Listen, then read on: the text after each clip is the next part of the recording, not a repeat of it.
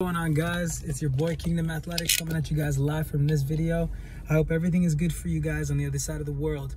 I'm making this video uh to glorify god today. You know just praise the king of all kings and the lord and savior jesus christ yeshua hamashiach.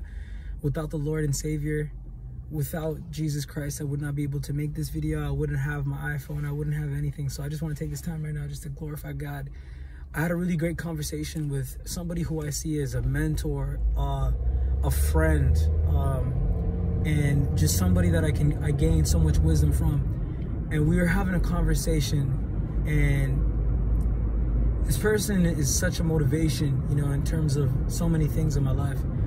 And we had this conversation about lust the other day, and I wanted to talk about it because I was I was just reminiscing on how it's the biggest stumbling block for young men in this generation.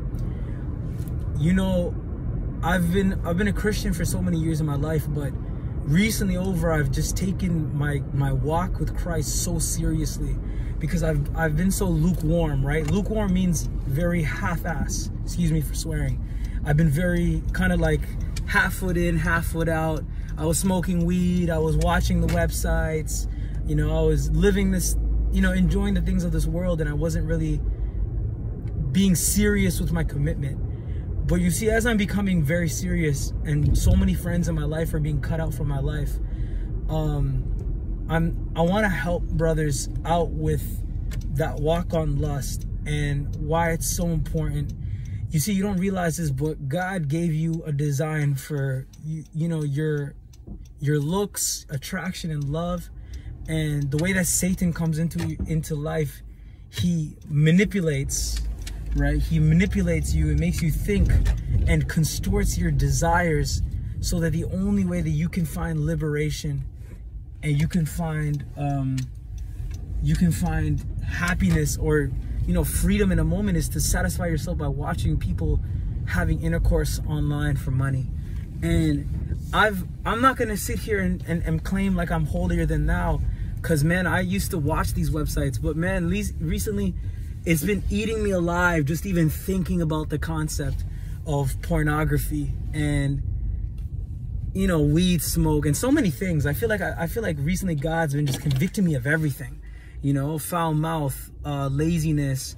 And i'm i'm going through this battle and i'm getting close to the age where my father passed away right? Um and i just think about my own life because i'm i'm pretty close to being the same age he was when he passed away. You know i'm getting closer to it every year and the moral of the story, guys, is this. The prayer and the focus that I have for you guys is this. We got to pray and believe that God will give us a lifestyle and blessings and efforts so that we use every minute and time to either glorify the kingdom of God, get better mentally, physically, or spiritually. This is why I made my role model series because they made a video talking about how there's you know, not just a video, but these people are a personification of building something from nothing and building a lifestyle where they don't have to worry about temptations no more because their lifestyle is something that glorifies God. And that's something that I try to incorporate into my own life. You know, I'm not anything great. I'm actually nothing compared to everybody else. There's uh there's another YouTuber that I know who lives across the street from me who's a lot more funnier than me. Um and his videos are better. Um and he has one eye right? So it's like it goes to show you like I, I don't have a lot of I, I'm not that great, but the the main difference is we all have a different message. You know, my message isn't the comedy route. My message is more I talk about real stuff. You know, and that doesn't make me better than that person at all. I think, like I said, he's far more talented than me as an entertainer. I, it's part of the reason why I stopped making videos, and I will stop. But this battle of lust, I really hope that we all find answers for it and I want to let you guys know why I name my my whole ministry and my my work ethics and everything Kingdom Athletics on YouTube. I believe that we all come from the kingdom, right? We come from the kingdom of God.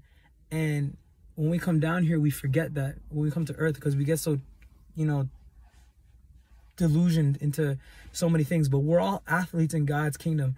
And my whole thing is as we train and become more powerful and stronger, that we start to realize that we are athletes from the kingdom of God right? And the real coach is God, right? And we're just athletes playing our roles, you know, and all of us are all stars. Some of us are role players. It, we're all playing roles. And without each other, we don't, the team doesn't function as great, but we're all called, You know, and that's the reason why I called my my whole ministry and my YouTube channel Kingdom Athletics.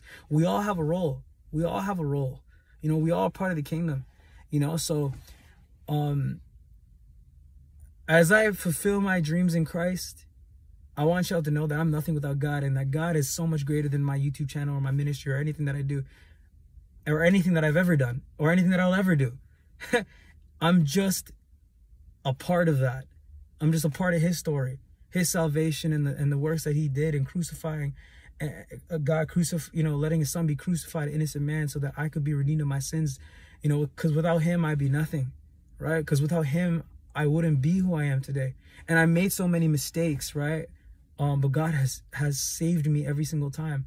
And I talked to you guys about the grace of God, how I've been fired from so many jobs, but God will always give me a new opportunity. That isn't my skill. I keep trying to tell people, like, it's not me doing that.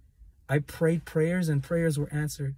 And there's certain prayers that haven't been answered. And it's it's stupid to say that because some people pray prayers and it never comes true. But the times that things do come good for me, it's like I can never take credit for that because God, man, my health, everything. It's just glory to God. So we never know how long we have left on this earth because time is very short. But while I'm here, I want to let y'all know that, you know, God deserves all the praise. Not the weed, not the girls, not the liquor, not anything. God deserves all the praise. And we're all fighting a battle, you know, and I hope you win it in Christ Jesus' name. And whatever you go through, do you find answers. With that being said, y'all, I'm out.